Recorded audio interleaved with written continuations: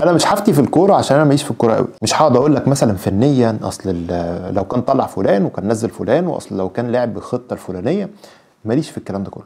خالص. بس أنا واقف عند سؤال واحد بس. وبعدين إيه اللي بعد كده؟ إن خلي بالك أنت داخل بطولة الأمم الأفريقية دي معنويا كويس. بتقول يعني هنوصل بقى إيه؟ نص النهائي آه، مباراة نهائية وإزاي أصلا لعيبة الأهلي هتروح تلعب كأس العالم للأندية؟ وده مشكلة كبيرة جدا أصل المنتخب هيلعب مباراة نهائية ومش مباراة نهائية. كلام يوضح لك إن الشعب المصري كان عنده أمل كبير جدا في المنتخب بتاعه. خلاص؟ الأمل ده جه منين؟ الأمل ده إن أنت أديت بطولة كويسة. مش هقول لك هايلة أنا هقول لك بطولة كويسة في كأس العرب لأن أنت تقريبا اتعرفت على الفرقة أو كارلوس كيروش ده اتعرف على الفرقة بشكل كبير ونظم خط دفاعه اللي هو هو هيلعب بيه بطولة الأمم الأفريقية. الأربعة اللي ورا دول هم هم دول اللي هيلعبوا في البطولة. فانسجموا عرفوا أدوارهم الراجل مرنهم كويس بيقفل كويس جدا آه، ما دخلش فيه جوان كتير في كأس العرب. فواضح كده إن في انسجام في الخط الخلفي. عندك حارس مرمى وعندك نمرة 8 اللي هو حمدي فتحي ده.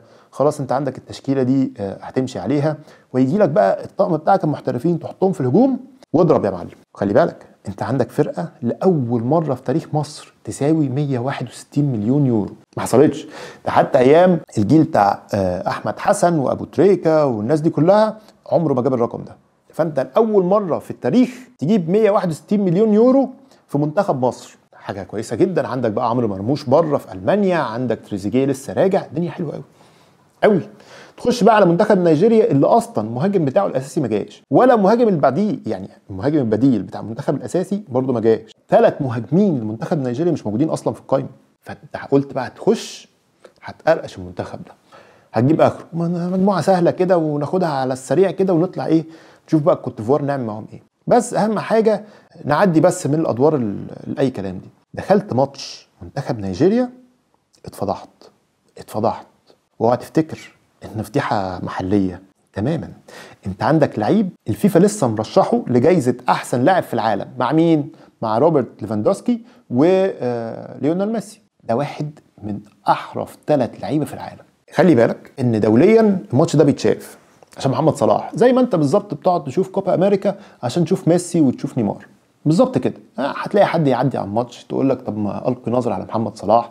الراجل لسه جاي له حذاء جديد من أديداس والحذاء ده معمول منه 1069 آه، حذاء فقط على مستوى العالم فأديداس بيعاه بغالي جدا. فاول مرة محمد صلاح هينزل يلعب بالحذاء بتاع أديداس. ده حاجة بقى إيه من الآخر. وعاملين له على فكرة خصائص مخصوص لمحمد صلاح بحيث إن هو يزود سرعته حاجات كده تمشي مع سرعه محمد صلاح. أنت جاي تبص على حاجة كلها جديدة.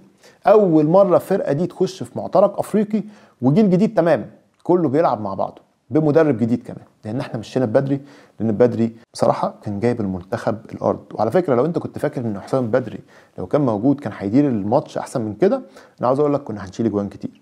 بس خلينا بس في الواقع ده لما اتفضحت فضيحة دولية مش أنا اللي بقول كده ده جريدة The Sun البريطانية. خد بالك خد بالك لأن أنت عندك هداف الدوري الإنجليزي هو محمد صلاح وعندك أكتر لاعب عامل assist في الدوري الإنجليزي اللي هو برضه محمد صلاح. فالاعلام الإنجليزي مركز معاك. جريده Sun بتقول لك إحنا أول مرة نشوف منتخب يلعب 5 5 0 ما معناه ان ما عندكش هجوم أصلا. ما هاجمتش. ما شفتهاش. هتيجي تقول لي والله أصل الكلام ده كذب. وجريده ذا صن دي آه، بتحب تفتي وأصل الكتاب الانجليز خمرجية زي ما بيقعدوا يقولوا الكلام ده كله. هقول لك هو جريده الصن ما جابتهاش من عندها برضه. يعني ده هم ما سألوش خبير. لا هم بصوا للخريطة الحرارية بتاعت الماتش. اللي هي دي شايف السهم؟ بيقول لك ده المنطقة اللي هيشوط فيها آه، المنتخب المصري. صح؟ الجول بتاع نيجيريا محدش جه عليه. ما اتلعبش عليه. يقول لك محمد صلاح في الماتش ده لمس 34 لمسة. منهم أربعة جوه الصندوق أو جوه منطقة الجزاء. شاط شوطين شوطة واحدة على المرمى وشوطة مش على المرمى. وحاول يرقص مرتين منهم واحدة نجحت. جميل. ده معدل بتاع أحسن لعيب في العالم أو واحد من ثلاث أحسن لعيبة في العالم؟ استحالة. إيه اللي حصل؟ الجمهور النيجيري دخل على محمد صلاح مش هو بس الإنجليز نفسهم. الإنجليز بقى تريقه غير طبيعية. وهو ده اللي ليفربول عاوز يجدد له. ومحمد صلاح بقى مستني إيه؟ مستني بقى ترينت الكسندر أرنولد يرفع له بقى الكورة ولا إيه؟ ما فيش ترينت. تريقة غير طبيعية على الراجل والراجل اتبهدل اتبهدل. محمد صلاح ده امبارح اتمسك في الإعلام الإنجليزي واتمسك في الإعلام النيجيري. وعلى فكرة أنا مش متابع. يعني بص أنا أنا مش متابع إعلام النيجيري على فكرة.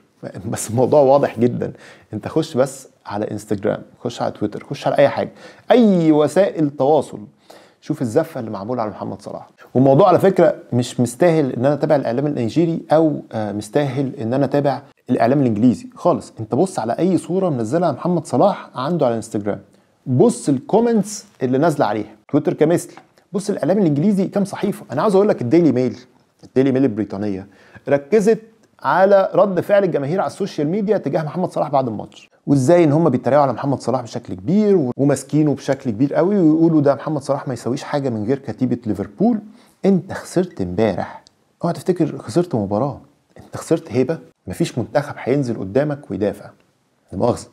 أي منتخب هيلاعبك أي منتخب هيخش قدامك عاوز يكسب. آه لما الزمن يلف ويجي بظهره شوف الزمن.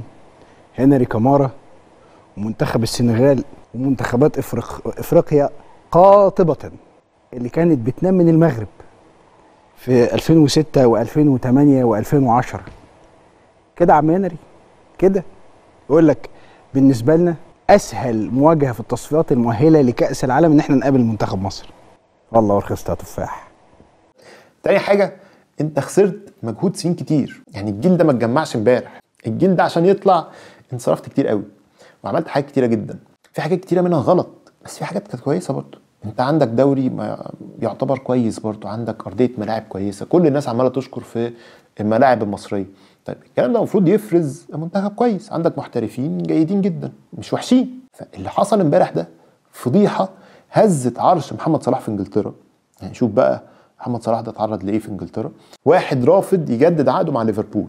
بس خد بالك محمد صلاح ده عقده هينتهي 2023 خد بالك إن محمد صلاح ده عقده هينتهي خلاص. والراجل هيتم 30 سنة السنة دي. السنة دي هيتم 30 هو عنده 29 السنة دي هيتم 30 فالراجل رافض يجدد عقده. المفروض لما واحد يرفض يجدد عقده يعمل حاجة اسمها تشارمنج أو يبقى لامع كده في المباراة عشان يبين لكل الفرق اللي عاوزة تتعاقد معاه ويبين للفرقة نفسها اللي هي بتعرض عليه وعاوزة آه، تمدد عقده يقول لهم لا أنتوا شايفين أنا بعمل إيه؟ وعلى فكرة اوعى تفتكر الفضيحة اللي حصلت في ماتش نيجيريا ده هتأثر على محمد صلاح في مصر وهيبة محمد صلاح في مصر والكلام ده كله. ابدا أنت عندك تيري هنري لما كانت كل الناس عمالة تقول محمد صلاح ده أحسن لاعب في العالم كل الإنجليز كانوا بيقولوا كده. ده حتى المنافسين حتى مايكل أوين بتاع مانشستر يونايتد قال لك محمد صلاح ده أحسن واحد في العالم. كل الفرق اتفقوا محمد صلاح ده أحسن واحد في العالم طلع تيري هنري قال لهم لا أنتوا بتقولوا إيه؟ محمد صلاح ده مش أحسن لعيب في العالم ولا حاجة. هو بيعمل إيه لمصر؟ تعالوا بصوا عليه بيلعب إزاي مع منتخب بلده. ما بيعملش حاجة. هو اللي قال كده. قال لحد بقى ما محمد صلاح يشد منتخب مصر ده ويطلع بيه مثلا كأس العالم يعدي بيه الأدوار الأولانية في كأس العالم ماشي. نقول بقى إن هو لاعب آه، كويس وكده. فالراجل محمد صلاح اتبهدل. أنت خسرت قيمة كبيرة جدا بتمثلك بره. محمد صلاح ده السفير بتاعك. السفير بتاعك في إنجلترا. يتعمل فيه كده. هتقول لي أصل هو كان وحش؟ بص هو كان وحش بس مين في الملعب كان كويس؟ تاني الراجل ما جالوش خمس ست فرص ضيع منهم أربعة أو حتى خمسة. ما جالوش حاجة. ده هي فرصة وكان الراجل مزقوق والراجل يعني كان بيقع كمان. محدش كان كويس امبارح. طب ده راجع ليه؟ مفيش نظام. انت كان عندك آه، لجنة كورة بتسلم لجنة كورة والاثنين ما شاء الله يعني. يعني ما شاء الله. واللي جاي لك بقى هو ده اللي أنا عاوز أتكلم فيه. يعني إحنا بنتكلم باللي جاي هو ده اللي أنا عاوز أتكلم فيه. اللي هو بقى مين اللي هيخطط للاتحاد الكورة ده؟ أنا عاوز أوريك. اللي فاز في انتخابات اتحاد الكورة لأن أصلا ما كانش فيه انتخابات. يعني تقريبا كل الناس انسحبت قدام جمال علام. جمال علام ده أضعف رئيس اتحاد جه في تاريخ مصر. أضعف واحد. ما بيعرفش ياخد قرار. معلش مع احترامي للراجل أنا مش بهاجمه. أنا بس بوضح لك صورة. جمال علام ده أضعف واحد جه رئيس لاتحاد الكورة. كان في ناس كتيرة جت على اتحاد الكورة ده.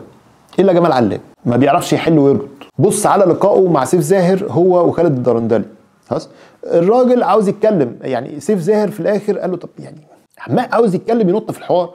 شخصية مش مؤهلة لقيادة اتحاد الكورة. مش بغلط في الراجل بس أنا بشرح لك الوضع. تيجي تبص على القائمة بتاعته القائمة بتاعته ناس محترمة جدا. وعلى فكرة جمال علام برضو شخص محترم. أنا بس بتكلم على طريقة إدارته. هو معاه خالد الدرندلي ده حد كويس جدا. حد في المالية هايل. وأنا أعتقد إن كل الناس بتكلم خالد الدرندلي ما بيكلموش آه، جمال علام. خلاص؟ وده كان واضح جدا في اللقاء اللي حصل.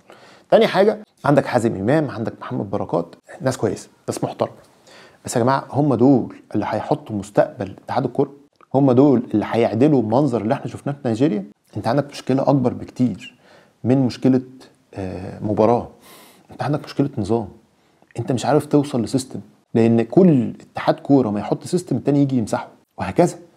ده لو جه اتحاد أصلا. فاتحاد الكورة ده المفروض ده أول اتحاد منتخب يجي. وهو ده اللي هيحط خريطة مستقبل مصر.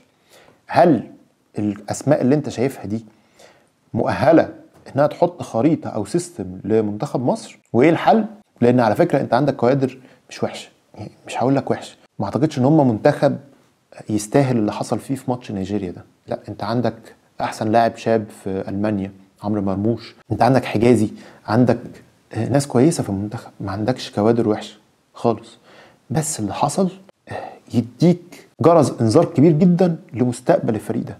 يا إما الفريق ده يقوم الماتش الجاي ويعملها يبقى عنده مبرر بقى ومحمد صلاح يقعد ينفخ فيهم لأن خلي بالك تقريبا ميدو طلع امبارح هاجمه. أنا بحب ميدو جدا. طلع امبارح هاجم محمد صلاح وقال إن تقريبا شخصيته مش مؤهلة إن هو يقود المنتخب المصري. كل الكلام طالع على شخصية محمد صلاح فهل محمد صلاح هيشد نفسه ويشد فرقته؟ خاصة الماتشين اللي جايين أنت عندك يعني غينيا والسودان يعني ممكن تعمل حاجة. ممكن. فيا رب بس أنا شايف إن إحنا دلوقتي في منظومة كلها ماشية غلط وأنا مش متفائل بمستقبل منتخب مصر. معلش مع مع احترامي لأي حد أنا مش متفائل بالسيستم اللي محطوط إن إحنا نطلع كوادر كويسة جدا. يعني أنت مثلا هقول لك حاجة عاوز تفهمني إن الجزائر اخترعت حاجة مش عندنا؟ الجزائر دول ما عملوش حاجة عشان يبقى عندهم منتخب قوي قوي كده. يعني أنا متهيألي منتخب الجزائر لو لعب قصاد آه، بطل العالم هياخد ودي معاه. انت ممكن تلعب قصاد بطل العالم هيبقى عندك مشكلة كبيرة جدا. جدا.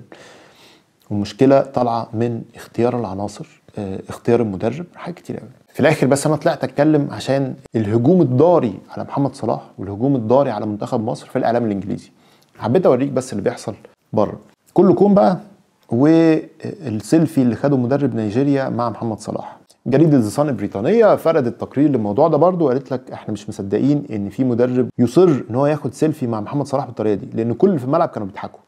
هي الصن هي اللي قالت كده كل اللي في الملعب كانوا بيضحكوا على طريقة إصرار مدرب نيجيري إن هو ياخد سيلفي مع محمد صلاح. بس بعد ما السيلفي اتاخد كل الناس احترمت محمد صلاح بشكل كبير إن هو يعني حد مش مغرور مش متعالي بالعكس ما عندوش مشكلة إن هو ياخد صورة مع حد.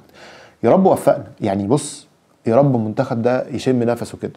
هنشوف الماتش الجاي هيعملوا إيه. ونشوف هنعمل إيه في المجموعة دي. ويا رب أكون شرحت لك الموضوع بشكل مبسط. ويا رب انصر مصر. تحيا مصر. سلام. يا محروسة بسيف شاطر وسيف حارس عليك يمين. ومن فوق السما السبع حميك رب العالمين. من الضالين ومن الخاينين ومن الخلق اللي